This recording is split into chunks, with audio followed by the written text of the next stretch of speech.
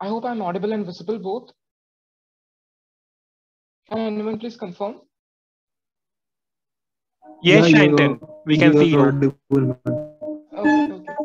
So um, we'll be just starting in two minutes and let the other participants join. And after that, we'll start.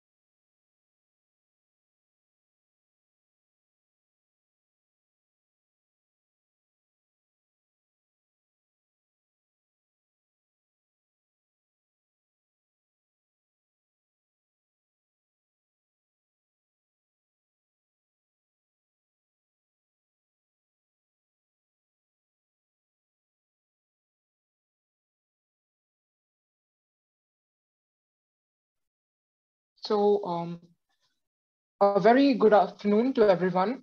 So today we have gathered here for the DS series number one. So this session has been conducted by um, CodeChef IEMK chapter. And today we'll be having our first session and that will be on linked list. And for today, I'll be uh, teaching with the topic linked list. So hello everyone, my name is Sayantan Sarkar. So I can see that 17 participants have joined. So let's just get started without further ado. So first of all, let's have a look at the agenda for today's session. So I hope my screen is visible to everyone. So first of all, we'll be discussing what is a linked list, right? So before understanding linked list and before moving on to the coding part, we need to understand that what is a linked list. And after that, we'll be moving on to the difference between an array and a linked list which will be followed by what is the advantage of using a linked list over an array. So this will be our third topic. And after that, we'll be discussing the different types of linked lists that we have. And finally, we'll be moving on to different operations that we can perform on a particular link. And next, which will be followed by some problem solving. So we'll uh, practice some problems from different websites, and it will be followed by a question answer session at the end, right? So this is our agenda for today's session. Okay, so uh, let's get started without further ado. So now the first thing that comes to our mind is that what is a linked list, right? So can anyone tell me, does anyone have any idea what is a linked list? Okay, one more thing, I need in the interaction of the audience should be very high. Okay, it, it should not be a one-way communication. Everyone should interact because this is not a class. This is a discussion, right? So can anyone tell me what is a linked list? Any idea what is a linked list? Because I think that we have already covered this topic. We have already come across a linked list. Can anyone tell me? Hello, sir. Can I speak? Yeah, yeah, definitely, definitely. Tell me what is a linked list? Uh, basically, a linked list consists of two blocks. That is, one contains the data and the other contains the memory address of the next data. And so on, this chain carries. Exactly. So you are absolutely correct. So basically, a linked list, what we can see is that a linked list is basically a data structure. So everything is a data structure. And linked list, it will comprise of different nodes, right? So each and every element of a linked list is called a node. Now, each node, as you have said, each node, it comprises of two parts. The first one is the data part and the other one is the address part. Now the data part of the linked list, it will hold the value, whereas on the other hand, the address part, it will hold the address to some other node. It can be the next node, it can be the previous node of the linked list, right? So this is the basic structure of how a linked list looks like. Okay, so I said that linked list is a data structure, which is the, okay, in which the memory address of the next or the previous element is embedded in the current element. So as you can see over here, this is the data part and this is the address part. So the address part, it will be holding the memory address of the next element. So it will be a, basically a chain. Okay. Now, as I've said that in a linked list, we have nodes, right? So each and every element of a linked list is called a node. And every node has two fields in common. One is the data field and the other one is the reference to the next node or the memory address of the next node, right? So this is the basic structure of a linked list. Okay. Now, the third point, which is very important, using linked list, we can implement any data structure. Like we can implement stack, we can implement queue, we can implement tree, graph. So whatever structure we have, we can implement everything using linked list. So linked list forms the base for all the data structures, right? So this is a very important point. And our next session of DS series, it will be on stack. So we'll see in that session how stack can be used. Okay, and we'll be applying linked list for that. Now, coming to the next part, what is the difference between an array and a linked list? So I hope that you have, you must have a basic idea what is the difference between array and linked list. Can anyone tell me? Can anyone answer? What is the difference between an array and a linked list? Yes, sir. Yeah. Sir, array is a linear data structure, whereas linked list uh, refers to the position of the next element. Uh, element refers to the position of the next element. So it is not linearly uh, consume memory in the ROM or RAM. Exactly. So whatever you have said, it's absolutely correct, right? So what do we have in array? Now you might have heard that sometimes we tell that in array, the elements are stored in contiguous memory locations. So what do we mean by that? So we have a RAM. So consider this picture. Okay, so this picture is of a RAM. And these are the memory address, 200, 201, 202, 203. And these are the elements that we have, U, B, F. So as you can see over here, these elements are stored continuously, one after the other, right? In, in memory address 200, U is stored. In memory address 201, capital letter B is stored. So all the elements are stored in contiguous memory locations, one after the other. But this thing doesn't happen in case of a linked list. In linked list, what do we do basically in linked list? We dynamically allocate the nodes. What do what is dynamic memory allocation? What is static memory allocation? I'll come to that.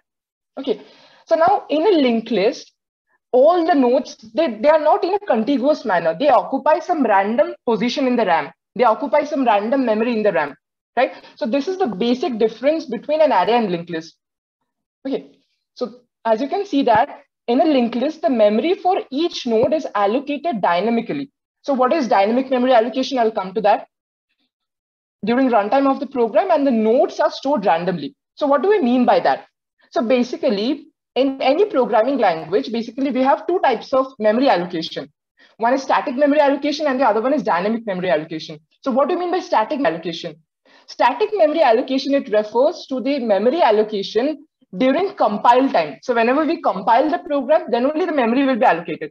Now, array is a data structure in which memory is allocated in a static manner. Whereas in case of linked list, memory is allocated in a dynamic manner. So what do, what do I mean by dynamic memory allocation? Dynamic memory allocation means that the memory is allocated during runtime of the program when we are actually performing the running operation of the program, when we are running the output. So at that moment, memory will be allocated. Okay, so this is known as dynamic memory allocation. So in case of linked list, all the nodes, they are allocated in a dynamic manner. Okay, so I hope you're getting this point. Yes or no? Can anyone just answer? Yes, yes. Yes. Okay, Yes. so these Yes, are these are all very basic things which everyone knows, right? Now coming to what is the advantage of a linked list over an array, right? So there are lots of advantage of, of a linked list over an array. coming to the first point, as I've said that an array is statically allocated, right? So basically, whenever we allocate the size of the array during compile time, that size is fixed then and there. We cannot change the size of an array later in the program, right? So that is why this array, the size of an array is fixed during compile time. But this doesn't happen in case of a linked list. As I've told you, linked list is a dynamic data structure. So what does that mean? It means that we can add a few, we can remove a few nodes, right? So we can modify the program. We can modify the linked list. So linked list can shrink and grow in size. We can change the size of our linked list based on our need, right? So this is one advantage of linked list over an array. Now coming to the second point. Now in the second point, we know that, say suppose we have an array. Okay, this is an array. And an array, as you know that, all the elements, they are contiguously allocated. Okay, they are stored in consecutive memory locations, 200, 201, like. Okay, now what happens basically is that, say suppose in the first place, the letter A is stored. In the second place, letter B is stored, right? Now, if we want to remove an element from the array, how can we do that? So in an array, for removing an element, we'll have to shift all the elements by one position. We'll have to shift this element, Okay, so then only an empty space will be created over here. This is how we can insert an element in case of an array, right? So basically, if we want to insert an element in an array, we'll have to reorganize the whole data structure, right? Since they are stored in contiguous memory. But if we want to insert or delete an element in case of a linked list, no such thing is required. We don't have to reorganize the whole data structure. We only have to delete that particular node, or we only have to work with that particular node right? We don't have to reorganize data structure. We don't have to shift any element, right? So this is the second advantage of a linked list over an array, right? So I, I hope these two points are very clear. Is it clear? Yes. Sir. Okay, yes. great. Now coming to the different types of linked lists that we have, right? So actually we have lots of linked lists. Now the first type is known as a singly linked list right? So what happens in case of a singly linked list, I'll come to that. And after that, we have a doubly linked list. So now just try to understand in a singly linked list, as I've told you, each node comprises of two parts, the data part and the address part. Okay, now what is stored in the address part? Now, in case of a singly linked list, we only have one address part. And in, in that particular address part, we store the memory address of the next node right? Whereas what happens in case of a doubly linked list, I'll come to that. In case of a doubly linked list, basically we have two data address part. Okay, so basically this is the data part. And there are two address over here. Okay, by address, I mean they're actually pointers which can store the memory address of the other nodes. So there is a previous part and there's a next part. Okay, so the next part, it will store the memory address of the next node Whereas the previous part, it will store the memory address of the previous node. So in case of a doubly linked list, we have two address fields, whereas in case of a single linked list, we only have one address field, right? Rest, everything is the same. Now coming to one more point, see over here, this, one, this node is actually the last node, right? So since this is the last node, in the, in the address part, we are storing the null value. Okay, in the address part, we are storing the null value since this is the last node. Similarly, in case of a doubly linked list, in the first node, in the previous address part, we will store the null value. And in the last node, in the next address part, we will store the null value. Okay, so this is the basic way, basic structure of a singly linked list and a doubly linked list. Okay, so as you can see over here, a singly linked list comprises of two fields, the data field and the next field. Whereas in case of a doubly linked list, it comprises of three fields. The data field is al already there, the link forward to the next node, and a link backward to the previous node. Right? So there are three fields in a doubly linked list. Right? So these are the two basic type of linked list. Apart from that, we have two more type of linked list. Okay, so one more type is known as a circular linked list. So what happens in case of a circular linked list? I'll come to that. So in case of a circular linked list, it's not it's not very difficult. In case of a circular linked list, what do we have? Consider this node that I'm showing. This is the last node, right? So in the next part of the last node, which memory address is stored? In the next to last node, we are basically storing the memory address of the first node, right? So that means the next first node. Okay, so it forms a loop, loop-like structure, right? So that is why it is called as a circular linked list. So, so if a circular linked list, as I have told, the last node, it points to the very first node of the list. Right? The next field of the last node, it contains the address of the starting node. Right? So this is what in case of a circular linked list. Now coming to the last type of linked list that is known as a circular doubly linked list. Right? So already in the previous slide, I talked about a double linked list. Now, so this circular doubly linked list is actually a combination of both circular and double linked list. So what happens in case of a circular doubly linked list? So as I've said that in a double linked list, we have three fields, the previous field, the data field, and the next field, right? Now, in the last node of this double linked list, the next part is linked to the first node and the previous part of the first node is linked to the last node, right? So this is actually what happens. So again, having a loop-like structure. That is why it is known as a circular double linked list, right? So I'll repeat, the last node, the next part of the last node is linked to the first node, whereas the previous part of the first node is linked to the last node. Right? So this is actually what happens in case of a circular doubly linked list. Right? So these are the different types of linked lists that we have in data structure. Now coming to the time complexity of a linked list. Right? So what is the time complexity of a linked list? Now, basically, I'll come to this point. We have three types of operations that we can perform on a linked list. One is the search operation, and the other one is the insertion operation, and the other one is the deletion operation, right? So now the worst case time complexity of the search operation is big O of n. So why does big O of n? It is big O of n because for searching, in the worst case, what can happen? We'll have to traverse through the entire linked list. We'll have to traverse through the entire linked list of n nodes. So that is why there'll be n steps in the program. So that is why the worst case time complexity is big O of n. So average case is also big O of n. Whereas in case of insertion, there are no steps involved. Actually, we can directly insert the element. So it is big O of 1. Similarly, the average case is also big O of 1. And similarly, for deletion is also, it's big O of 1 because we can directly delete any node from a linked list. So that is why the worst case and average case time complexity of deletion is also big O of 1. Right? So I have given you a brief overview of the time complexity of a linked list. Right?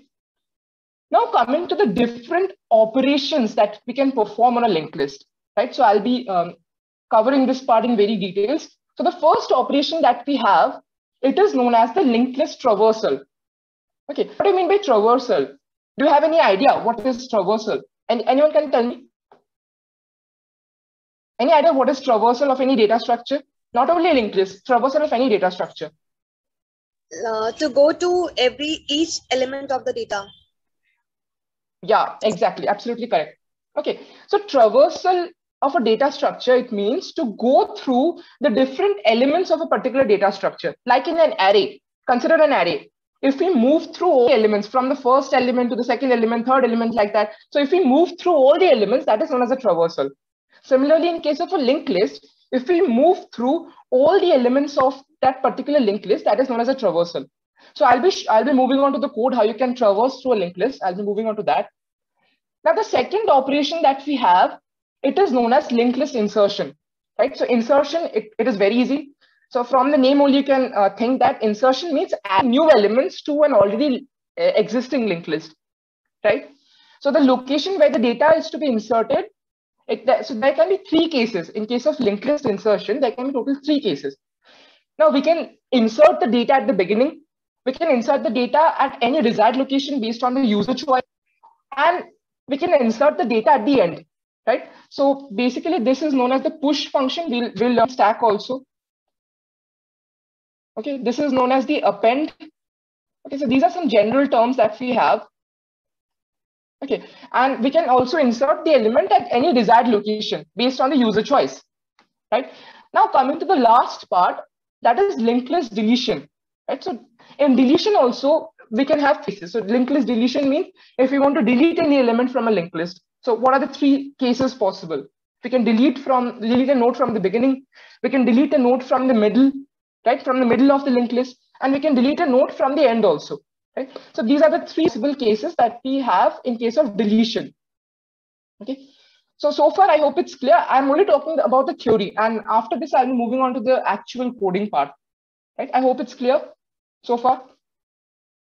Is it clear? Does anyone have any questions? No questions? Okay, great. So now moving on to the next part.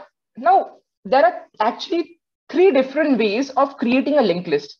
Right? So what are the three different ways of uh, by which we can create a linked list? So first of all, we can create a linked list by using self-referential structures, right? So what is self-referential structure? I think that you have already an idea because this thing was done in our first year. It's a self-referential structure. It's actually a structure which can call itself. So by using self-referential structure, we can actually call a linked list, right? Now, we can create a linked list using classes and objects. Right? So this is the second way of creating a linked list. And moving on to the third and the final type, we can also use the STL library in C++ for creating a linked list, right? So these are the three ways of creating a linked list.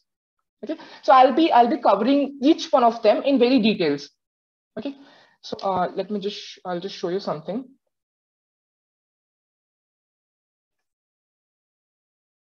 Okay, so um, can you see my can you see my screen? Is my screen visible? This VS Code screen? Yes, yes it's right? Visible. Okay, great. So look at the first code that, that I've written. So in this code, basically I've inserted few elements to an existing linked list, right? So what I've done for that. So over here, as you can see that I have taken a class, the name of that class is node, right? And these are the public members of that class, data part and the next part right? So this next part, it's actually a pointer object that can point to another object of the same class type, right? So this is a pointer object. Now, what I've done over here, so these are the public data members of this particular class node, right? And outside the class, what I've done, I've declared another object. The name of that object is head, right? So what, what, what do you mean by head? So head is actually a pointer object that will point to the first node of this particular linked list. It will point to the first node right? And over here, we have three functions. So what are the three functions that we have? We have a push function, we have an insert after function, and we have an append function. So what does push function mean? So push function, it is used to push an element okay, at the beginning of the linked list. Whereas insert after means we can insert any element at any uh, location based on the user choice. Whereas the third type, append, as I've told you, append means adding any element at the end of the list. Right? So these are the three functions that I have written over here. Okay. Now coming to the main function of this particular code. Right. So as you can see, this is the main function. So first of all, we are calling the append function and we are passing the value six, which is the data part. Okay. So now I'll just show you how we, how is this thing working. Okay. So let me just open my paint screen. Just tell me whether my paint screen is visible or not. Is it visible for everyone? Right. So I'll just show you how this append function works. Is it visible for everyone? Just can you just confirm? Yes, it's visible. Okay, great, great. So now just moving on to the append function. So how does the append function work? Right. So in this append function, we have the one argument. So what is that argument? The argument is the data part that we are passing from the main function. So consider we have a linked list like this Okay, this is the first node. This is the second node. Okay, and, and there are many nodes. Okay, and each of the nodes are connected. Okay, and this is the link part. Okay, and this is the link part of the first node. And in the data part, say suppose we have 13 over here and we have 15 over here. Right? Now this append function, what it will do, it will insert a node at the beginning of the linked list. So how we can do that? So first of all, this node equals to new node. It what it will do? It will create a new node, right? It will create a new node. So I'll just create a new node over here. Right? And after creating what I'll do, so again, this new node will have two parts. This is the part, and this is the next part. Okay. So new node data. So new node is actually a pointer object, and this pointer object and we are using the dereferencing operator, that arrow sign. New node data, it will point to the this data part. So we are assigning this data. So whatever the user has entered, suppose I'm saying six in this case. So the value six will come over here, right? And after that, what I'm doing, I'm assigning the next part of this new node as null. So a null will come over here, right? And what I'm doing after that, now, after that, I'm checking that if the value of head is null or not. Okay, so I'll talk about head first. So what is head? So head, again, it's a pointer, as I've told, it, it will point to the first element of any linked list. So this is a head. Okay, so head is a pointer that will point to the first element of any linked list. So now we will check that if the head equals to equals to null. So what does head equals to equals to null mean? So head equals to equals to null means that this linked list is empty. There are no other nodes in this particular linked list. So basically what we can do, we can directly assign this head to this linked list if the value of head is null. Okay, since there are no nodes over here, right? So this is one case. Now, if case is doesn't satisfy satisfied, so we will move on to the next part. So in the next part, it says that last of next equals to equals to null. Okay, so what is basically happening over here? Yeah. So over here, what I'm doing is that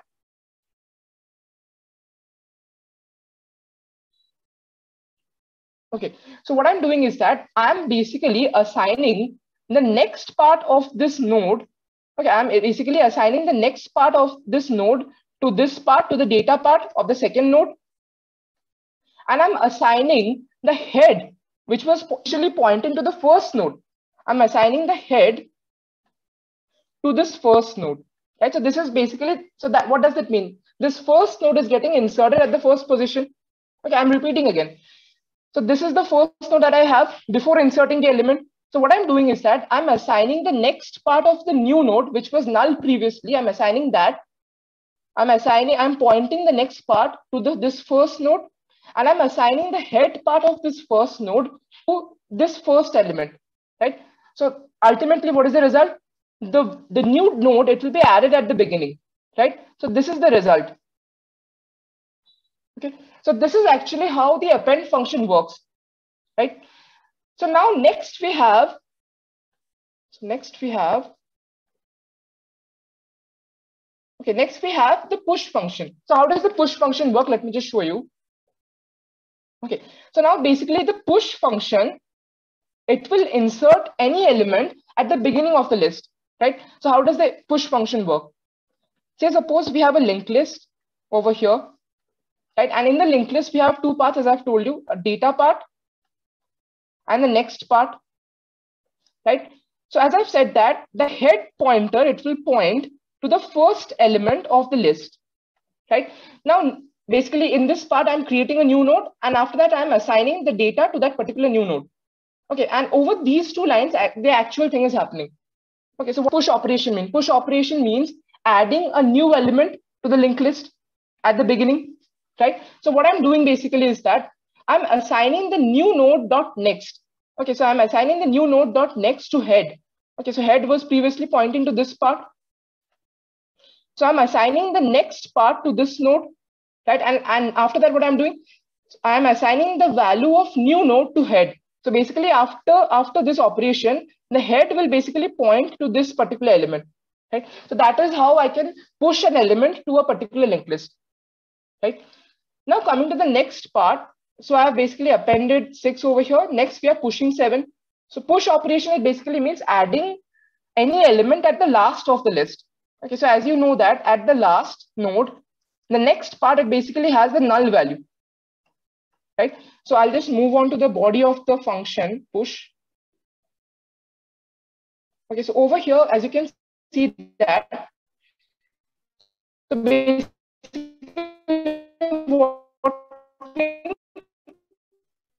so again we are creating a new a new node and we're assigning the part to the head. Sorry, this is uh, should move to the append function. Okay, this is the append function. Okay, so over here, what I'm doing, see, see this particular line of code. So basically, last of next to now, basically, I'll be traversing the entire list and I'll move on to the last node. Okay, now after I've traversed the whole list and I've moved on to the last next equals node, it was pointing to null. Now, after this, what I'll do, I'll point the next part of this node to new node. Okay, so whatever new node I have created, I'll, I'll link the next part of the last node to the new node instead of null. Initially, it was having null. And after that, what I'll do is that I'll link the next part of the last node to the new node. So that is why how an element will be added at the end of the list. Okay, so this is the push operation that we have in a linked list, right? And finally, we have, okay, so we have added, and finally we have the insert after. Okay, so it is based on the user choice. So over here, as you can see that we are passing two arguments, head of next of next. So what does that mean?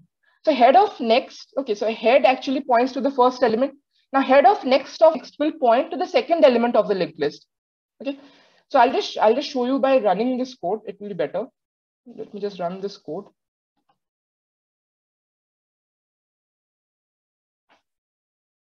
Okay, so as you can see over here, this is the actual created linked list. Okay, uh, just wait. I'll just delete this uh, delete node function because I'll talk about deletion later.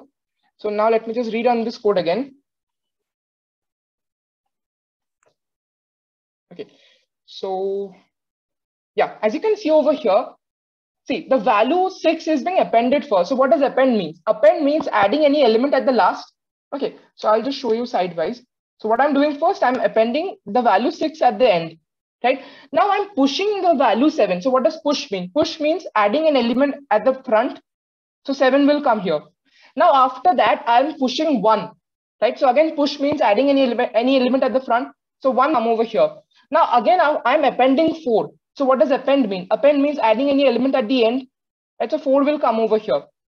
Now over here, this is the linked list that I'm that I have created till this line, till line number 94. Now in line number 95, I'm inserting the value 8.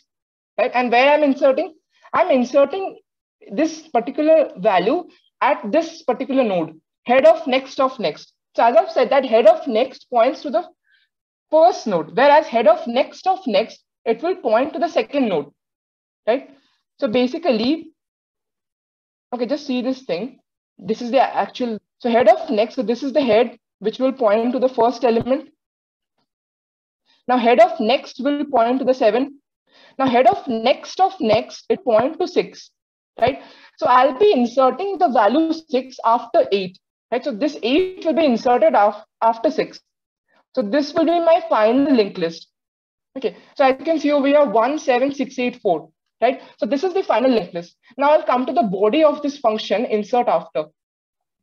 Okay, so as you can see over here, there are two arguments.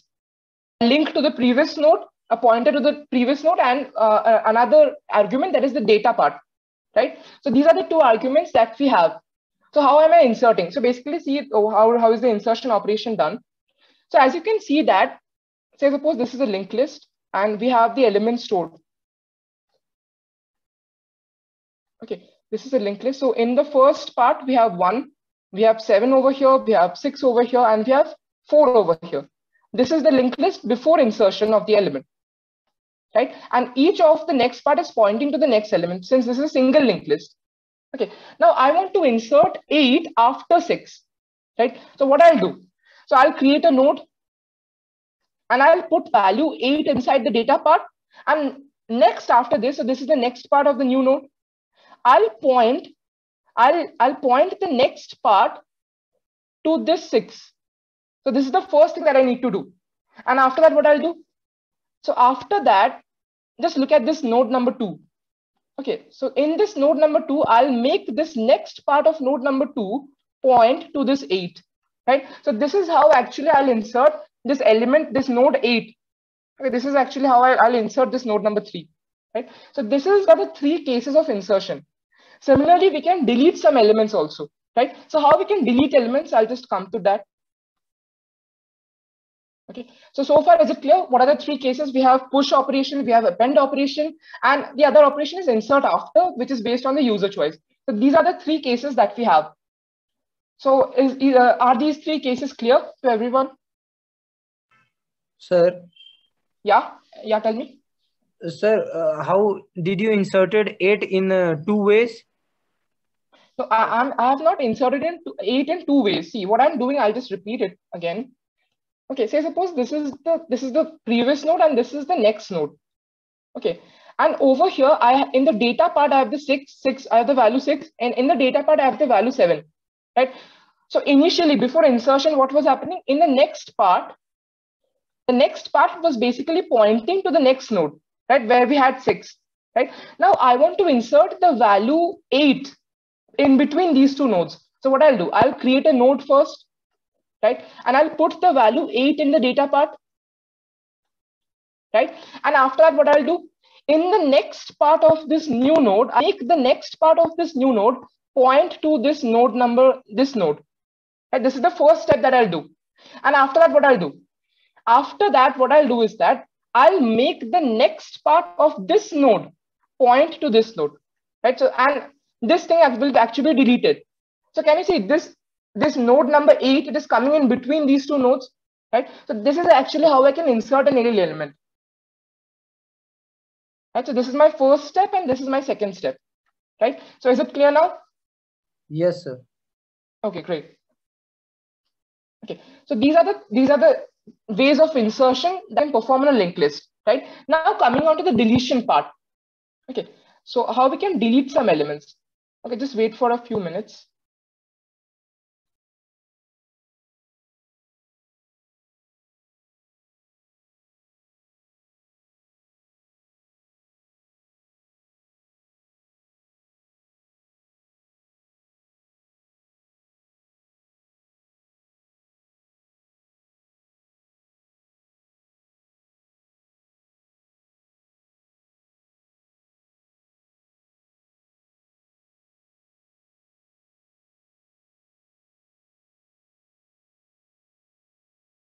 Um, I'm very sorry for the interruption. I hope I'm audible. I'm audible, right? Right. Now coming to the next part, that is deletion of elements. So what are the different cases that we can have? As I've told that we can delete any node at the beginning, we can delete any node at the end, and we can delete any node at the middle or based on the user choice, right? So how can delete any node at the end? Right. So as I've told that the last node, okay, the last node, it will Okay, the last node, what it will do, it will point to null. Right, this is the last node that we have. And the second last node, okay, uh, this is the second last node. The second last node will be basically pointing to this node. So what I can do is that if I want to delete this node, I can basically make the next part of this node as null. If I make the next part of this node as null, automatically the last node is going to be deleted right? So this is actually how I can delete any node at the end, right? I hope it's clear. So this is one case. Now, how I can delete any node at the beginning, right? So how I can delete any node at the beginning. So this is my second case in deletion.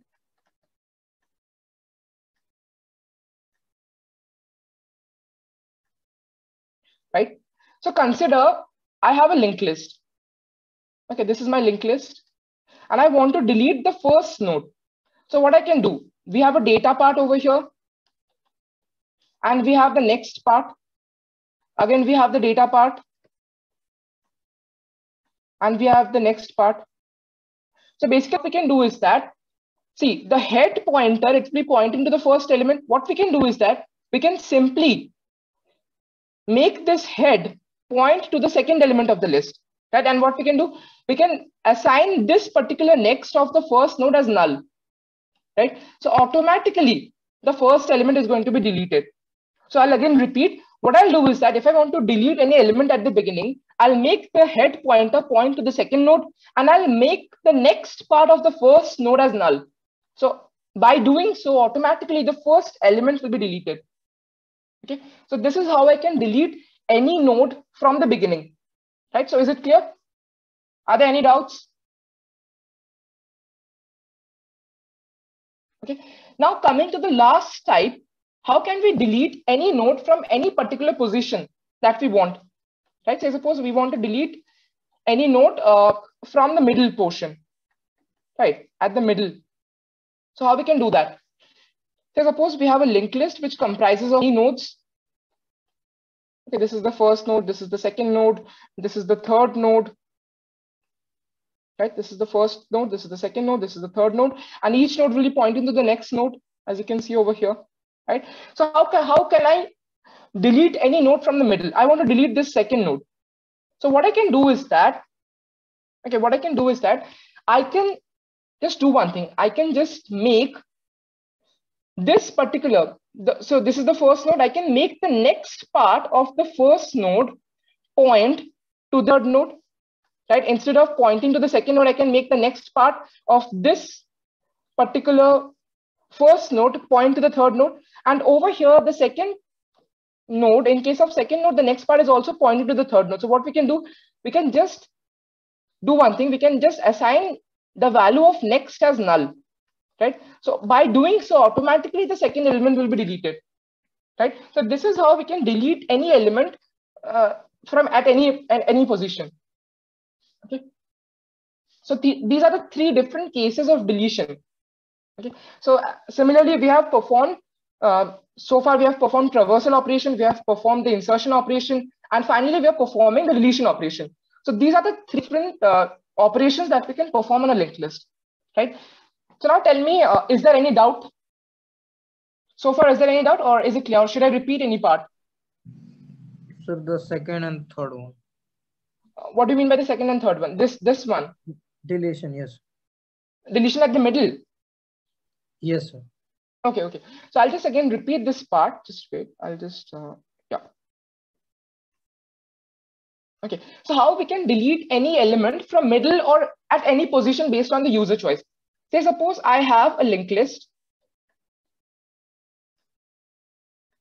Okay, so this is my linked list which comprises of, say suppose, uh, it comprises of five nodes, right? And I want to delete the middle element. I want to delete this, this element. So one, two, three, four, and five, right? So this is the data part and this is the next part. Again, each element will point to the next node. Right? So I want to delete the third element. So how, how can I do that? So basically, if I want to delete, so I'll look at the second node. So in the second node, I'll make the next part of the second node point to the fourth node, right? So this is my first step. And in the second step, what I'll do, I'll make the next part of the third node, which I want to delete as right? So if I do that, automatically the third part will get deleted. Okay, so these are the two steps that I'll do. First of all, I'll make the next part of the second node as uh, I'll, I'll, I'll make the next part of the second node point to the fourth node. And what is the next step? I'll make the next part of the third node as null, right? So this, this connection will be lost, right? So this is how I can delete any element from any position based on the user choice. Right? So before that, there is one more step. So basically, you need to traverse through the linked list till the position where you want to delete. Okay, so basically, you you need to traverse through the linked list. You have the head pointer. You need to traverse from the starting of the list till that point where you want to delete. And after that, only you can perform these operations. Okay, so is it clear now? Yes. Okay, great. So I hope that uh, the others don't have any doubt. So I'll just show you how we can insert. I'll just show you the code once again. So um, yeah, so this is the delete node function that we have. Okay, so I'll just show you by uh, calling this function. Okay, say suppose I'll just write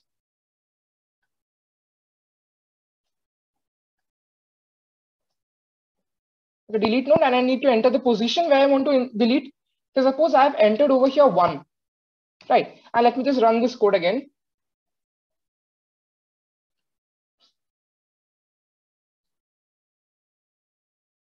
So can you see over here, the element which was at the 1th position, 7. Okay, so basically the, the index starts from 0. So the first element, it has the index 0. The second element, it has index 1. So can you say after deletion, this, this element 7 has been removed from the final linked list? Right? So this is how the deletion operation works. Okay. So this was all about uh, how we can apply linked list using classes and objects. Now let us move to the second part, using the STL library in C++. Okay, so how we can do that? So I'll just come to that. So now tell me, has anyone heard of the STL library before? Or have you ever used the STL library in competitive programming? Have you used? Anyone has used the STL library? No. No one has used? Okay, no issues. See, what is the STL library? I'll, come to that. The STL library, it stands for Standard Template Library. Okay, so what is the Standard Template Library? So in Standard Template Library, basically we have three things. We have algorithms, we have container classes, and we have iterators, right? So these are the three things that we have inside an STL library. Okay, now these things might, might sound very complicated. So now STL library, it is basically used for applying any data structure, right? So what we do in C, right? So I hope that you must be knowing about C programming language. In C programming language, we basically write the internal structure of every data structure. If we are performing the same code in C, we will write, the internal data structure. But if we are using the STL library, everything is already already there. It's ready-made. Okay, so we'll only have to apply those things, right? So in STL library for linked list, we have a container class. Rather, I'll call it as a sequence container. So we have a container class. The name of the class is list, right? So we have a class with the name of that is list. Now this list, it's actually a container class. And this list is basically a doubly linked list. Right? So I've already told what is a doubly linked list. Right? So this list that we have, it is a doubly linked list. Right? So I'll just show you how we can do that. So it's a doubly linked list. Okay, so this list, it will basically create a linked list and have to write the internal structure. It will, it will just create it. Okay, so I'll just show you the code directly. Okay, so as you can see over here, um, first of all, we have included the header files and after that, come, come to the main function. Okay, so this is the general format of initializing a list, right? So list is the container class that we have. And this int that we have written over here, it will actually specify the data type of all the elements inside the list. And over here, we have created two lists, list one and list two. This is similar to the list that we have in Python, right? In Python also we have a list, right? So it is very similar to that, the one that we have in Python. So list is actually a container class and we are creating two lists over here. And the name of those two lists are list one and list two, right? Now we have a lot of predefined functions, right? We don't have to write the body of these functions. It's already there. Okay, it's predefined. So we can directly use them, right? So like pushback function. So this pushback function, what it will do, it will add any element at the end of the list. Whereas we have another function that is push front. So push front function will, will basically push an element at the beginning, right? So similarly, we have lots of functions. I'll, I'll just show you the list of the different functions that we have. Okay, so these are the functions that we all that we already have. So these are all predefined functions, right? So we have first of all we'll declare a list. Okay, now after that list we'll start adding values to it. That's how we can add, add values to it. So as you can see, we have this push front function. So this push front function it will add a new element at the beginning of the list, whereas the push back function it will add a new element at the end of the list. So these are the two predefined functions that we have. Similarly, we have functions for deletion also. So pop front and pop back. So pop basically stands for deletion. Right? So pop front, it will basically remove the first element from the list, whereas pop back, it will remove any element from the end of the list. Right? So all these functions that we have, we have the size function for calculating the size of the list. We have the reverse function for reversing the list. We have the remove function. We have the assign function, insert function. So you can just go through these functions once Right? So, so using these, these predefined functions, we can actually implement them and we can perform any, we can write any program. Okay. So I'll just show you the code once again. Okay. So over here, I have created a list one and list two. And now what I've done. So I've written that list one dot push back two. So what will happen basically, the value two will be at the end. Okay, so the value, so there is a list, a linked list, a double linked list, and the value 2 will be added at the end. Now I have written push back 3 in the next line. So the value 3 will be added after that. And after that, I've written 5. So the value 5 will be added. And after that, I've written 7. So the value 7 will be added. 8 will be added. 9 will be added. And in this manner, it will continue. Okay. And after I have pushed everything, okay, the last thing, this 9, I've actually used the push front function. So what the push front function will do, the push front function will basically add this nine at the front, right? So this will be our final list, nine, two, three, five, seven, eight, right? So I'll just show you by running this code. Let me just run this code.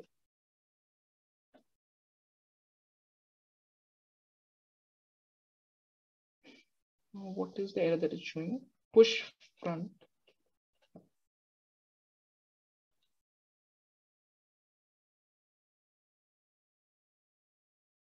Okay, so can you say this is the link, the list that we have? This is actually a double linked list. 9, 2, 5, 7, 8. So these are the elements inside this list, right? So we need not write any internal structure of the program. So we are directly using all the predefined functions, right? And we can add elements directly, right? And after that, we are just calling the show list function, which is basically used for printing the list, right? So is it clear what is list container class in C++? I've given a brief overview of what is STL library, what is a container class. So is this thing clear or should I repeat again?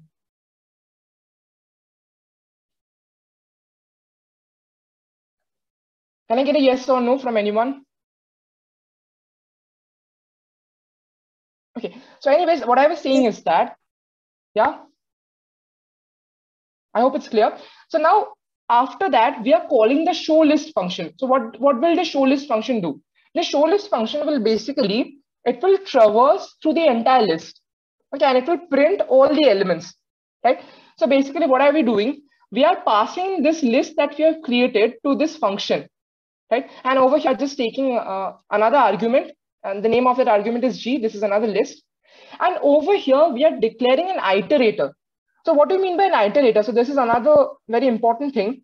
So iterator Okay, iterator, you can say that iterator, it's a pointer, right? So iterator is also a pointer and it will point to all the elements of this particular list sequentially, right? So it will start from pointing at the first element, then it will point to the second element, then after that it will point to the third element, then it will, after that it will point to the fourth element.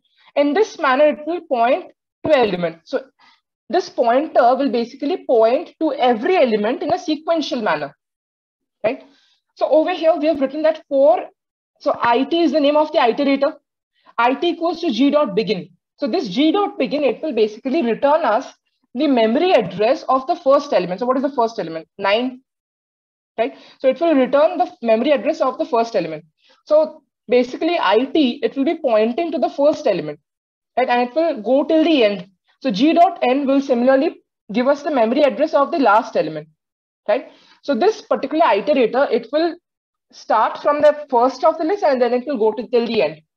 Now over here inside the body of the for loop, we have used star of it, right? So what we are actually, so this is a pointer, it is a pointer. And if we are doing star over here, so it will give us the value that is inside the list, right? So this is actually how we are printing all the list. So is it clear? Is this thing clear? Okay, so this is actually how we can print all the elements. Now let, let me just show you how we can delete some elements. So list one dot pop. So suppose I want to delete an element at the front. Okay, so I can write that pop front. Okay, and let me just write, uh, let me just run this code.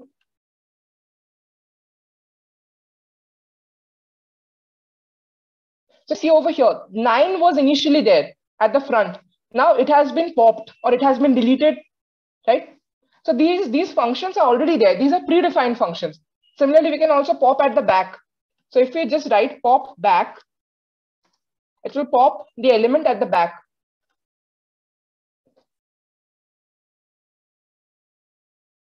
Right, so can you see the element which was at the last, 8, it has been deleted. Right, so 8 is not there anymore. Okay, so this is how we can pop any, we can delete any function, we can uh, add any new element to a particular list, right?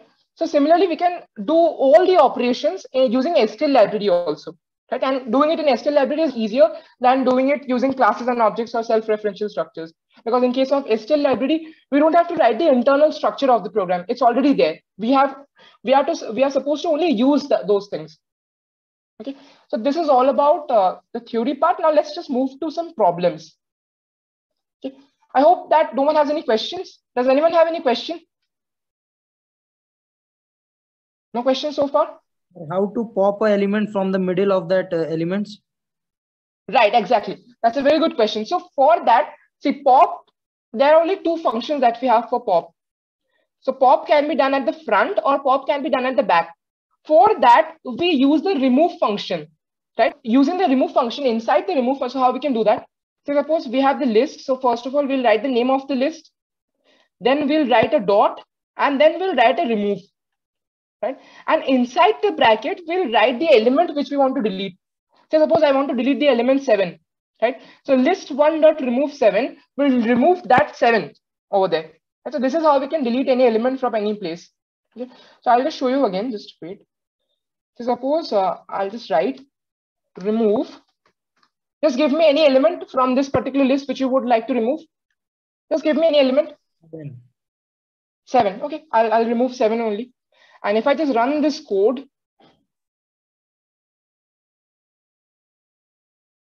so can you see over here the element seven remove? Right. So this is actually how we can remove any element. Okay, so is it clear how we can remove any element from any position? Yes, sir. Okay, great. So now, um, moving on to some problems. Okay, so the first problem that we'll do today is that, so we uh, we'll be given a binary number and we'll we'll have to convert that binary number into its equivalent decimal number. So this is the first problem. And in the second prob problem, I'll provide you the link. I'll give you some time to try that problem and after that I'll solve it. Okay, so let's just discuss the first problem.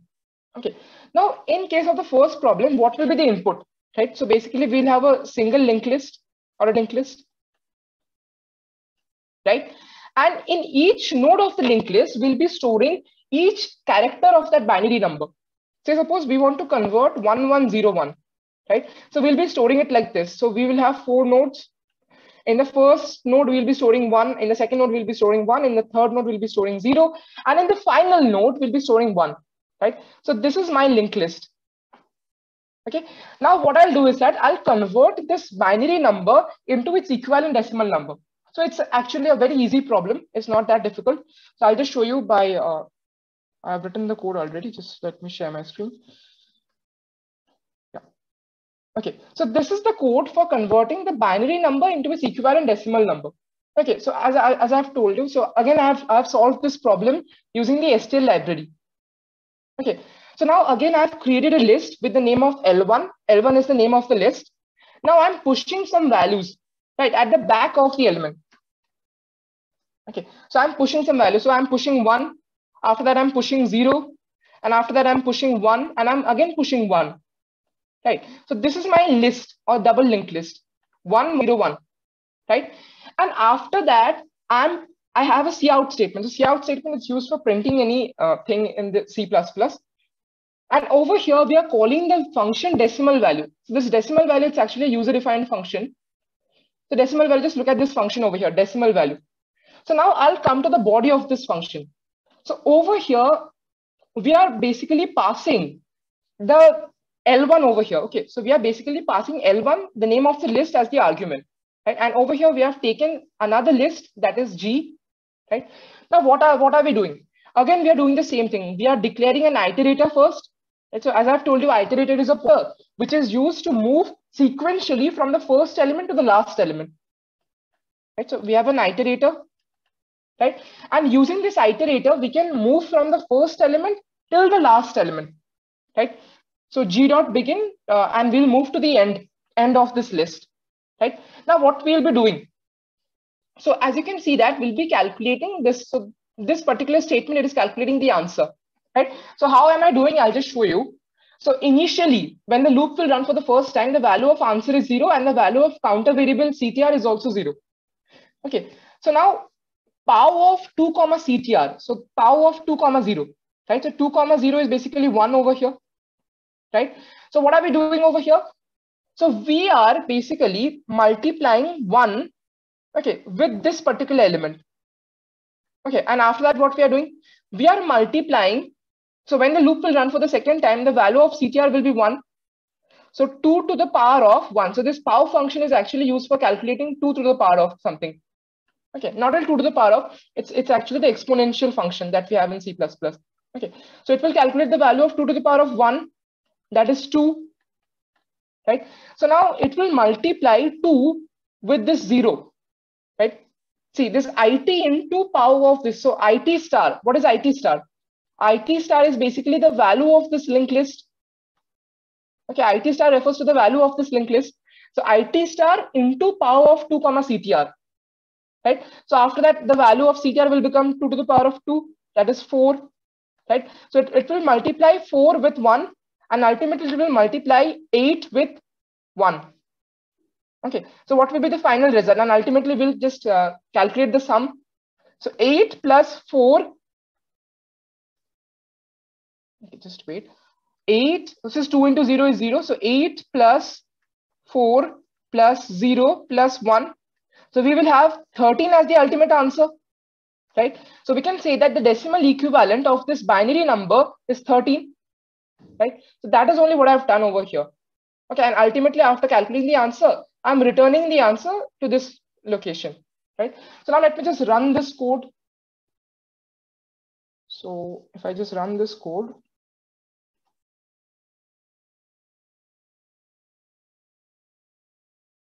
Okay, so can you see it's showing us the decimal value as 13. So basically we are converting the binary number 1101 into 13. So is it clear what is happening inside this uh, program? Sir, can you please go through the code once more? Yeah. So, is this is the main function clear? Where I'm pushing some elements? Yes, sir. So this part is clear. Now, this is the decimal value function. Okay. So in this function, basically we are calculating the answer, right? So as I've told you, this particular line number seven, it will declare an iterator. So iterator, it's a pointer that will point to the first element of this particular list, right? And it, and it will continue till the end of the list. So over here, it is starting from the first element and it will go on till the last element. So actually here we are performing the calculation. So what are we doing? I'll just, I'll just again repeat this thing. So when the when this loop will run for the first time, so suppose in the list I have one, one, zero, one. This is what I have, right? So now it will start from one, the last element. So the value of IT, okay, IT will point to this element. So star of IT will be what? Star of IT will be one, right? Now what, what I'll do, answer equals to answer plus star of IT that is one into power of 2 comma CTR. So 2 comma CTR, CTR, the value of CTR is 0, right? So answer, answer is also 0. So 0 plus 1 into 1. Okay, so initially the value of answer will be one then, right? Now when the loop will run for the second time, the value of answer is already one and the value of CTR will be incremented by one because we have CTR plus plus over here, right? So the value of CTR is one. Value of answer is also one, right? Now the IT value, this IT iterator, it will point into the second last element that is zero, right? Now how we can do that? So now since it is pointing to the second last element, so star of IT will be what? Star of IT will be 0. So 0 into power of 2 comma CTR. So the value of CTR is 1. So 2 comma 1 plus the value of answer that is 1. So ultimately again it will give me 1 because this thing is 0. Right? So in this fashion it will it will be calculating us the answer.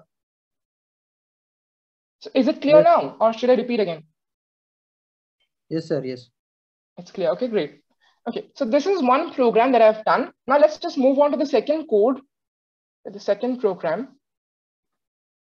Okay, so this is the second program. So let me just show you. Okay, so this is the second program. Okay, so I'll just give you some minutes to try this program, but uh, okay, I'll just share the link also in the chat box so that you can just visit this question.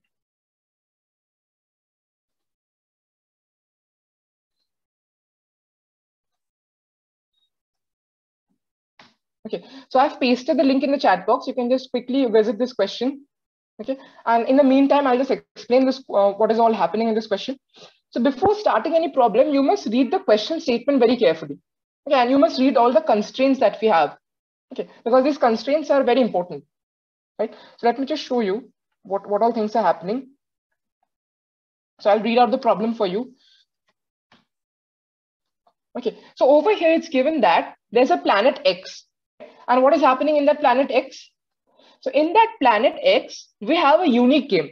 So what is our task? We need to select a class leader. Okay, so there is a class and we need to select a class leader for our class. Okay, so now in that class, there are total n students. Right. So what are n students? So there are, and the students are numbered as one, two, three, four, five, and dot, dot, dot till n. Right. So these are the numbers of the students, one, two, three, four, five, dot, dot till n.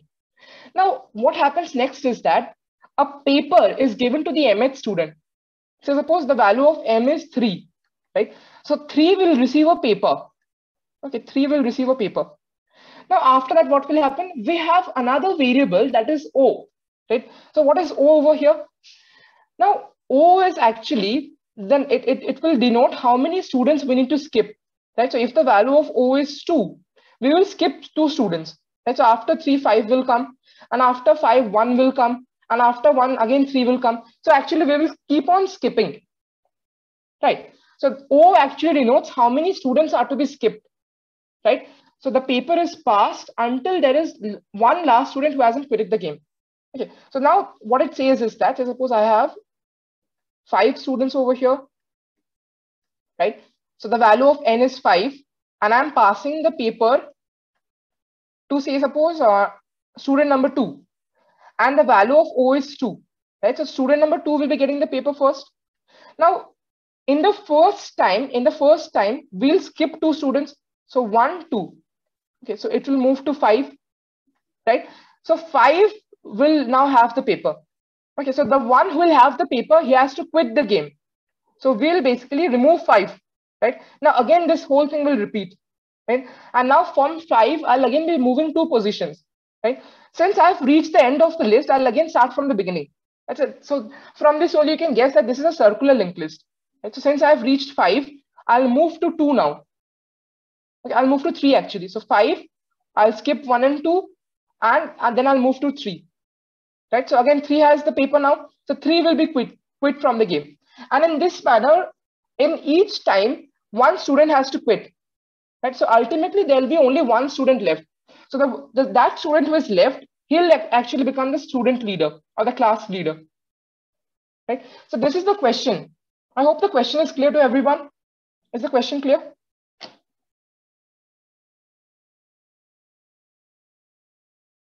Hello, is the question clear to everyone? Can anyone just respond? Is the question clear? No one is responding. I've also pasted the problem uh, link in the chat box. You can just visit this problem. Okay, I'll just give you two minutes. Just uh, just try this code. Okay, and or, or else you can just tell me how how can you approach this problem. You can also tell me that. You don't have to say me the exact code. You can just tell me how how you can approach this problem. Okay, so anyone would like to try how you can approach this problem? Anyone? I can see that there are total uh, 16 participants now.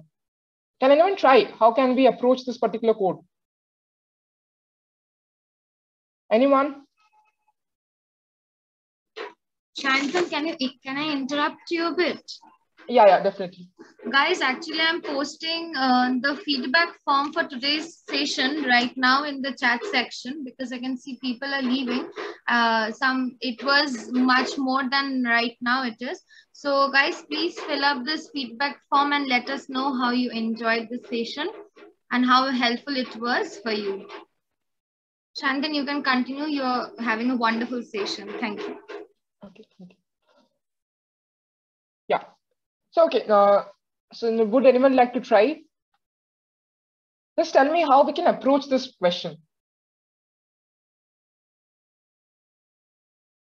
Okay. Okay. So, um, anyways, I'll just explain how we can approach this question. Okay. See, what I can do is do over here. Say, suppose we have five students.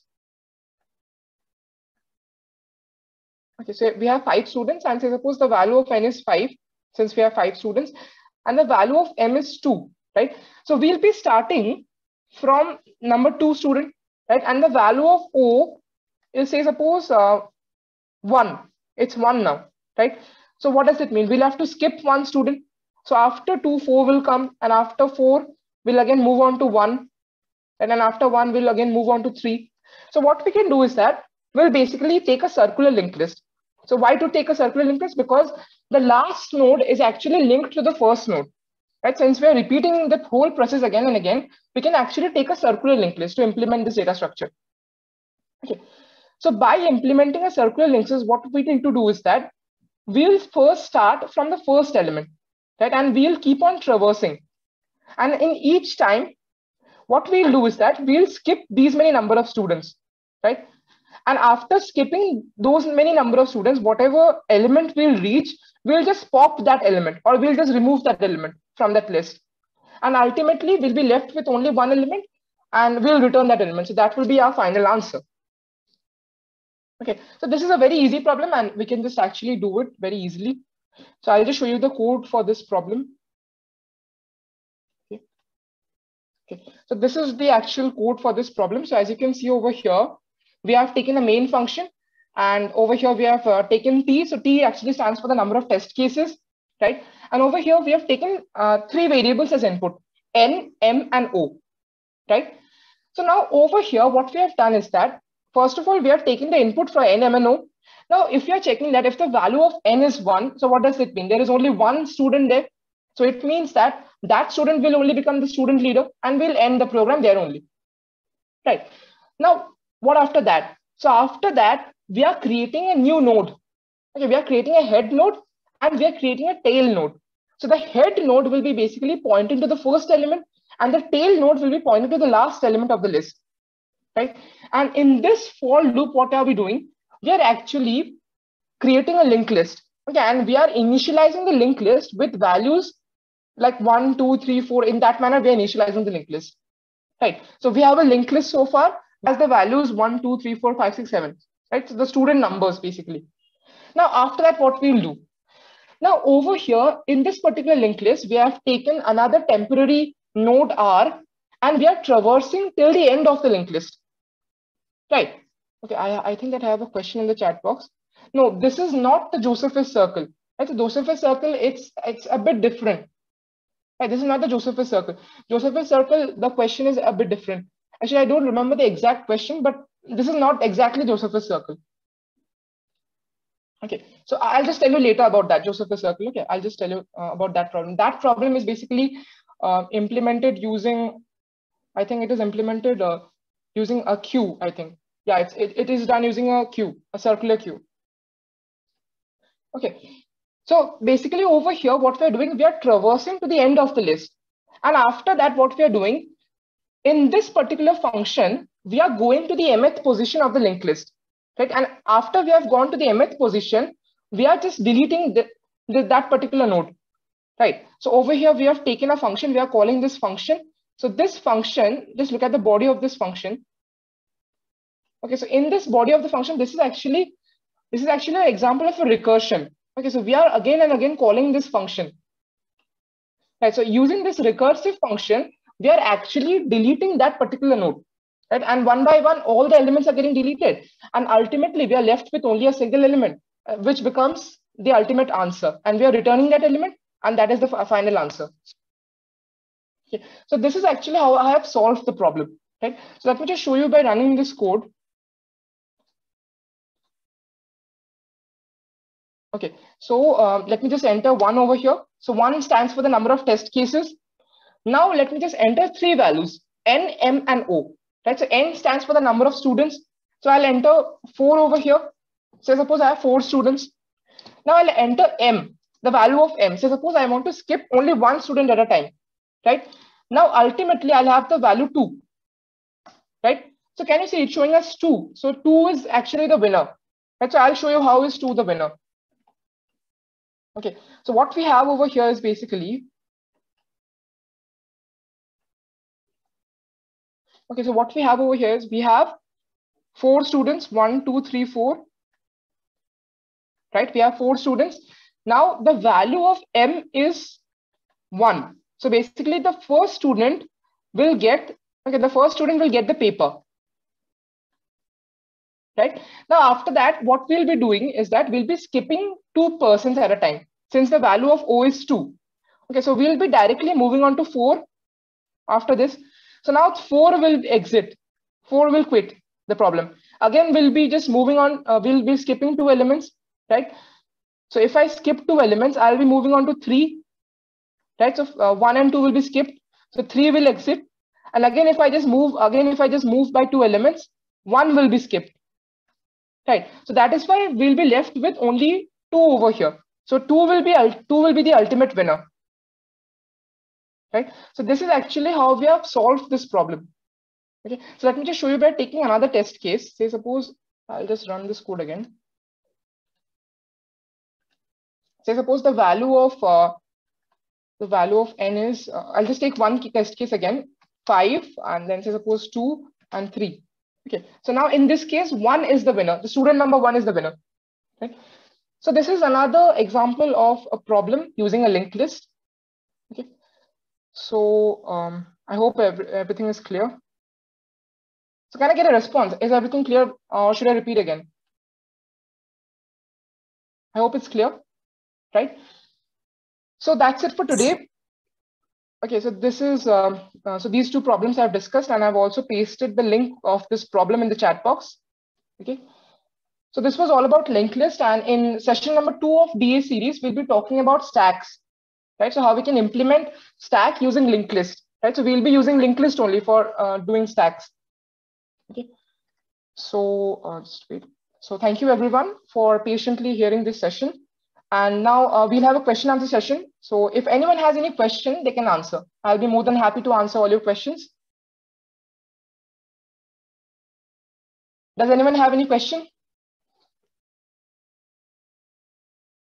Any question, you can, uh, you can talk about any question from linked list. You can talk about any question from whatever I've taught today. What uh, all those two problems, you can tell me any question. So um, silent. So I hope that there are no questions. Okay. So I'll just stop sharing my screen. Okay. So that's it for today. So we'll just wrap up over here only. Okay. So I hope. Uh, also, I would like to add that from 20th of November, we are having an Android boot camp. So guys, here I'm sending you the registration link. So if you're interested, do register and it will be a series of events will be there. We have posters and other things lined up. So do register if you're interested. Thank you. So uh, thank you, everyone. Um, I hope that there are no questions anymore. So I'm just ending the meeting. I think uh, I'm not the host, so I cannot end the meeting. Yeah, I'll do so. Thank you, everyone. Thank you, Sayantan, for the wonderful session.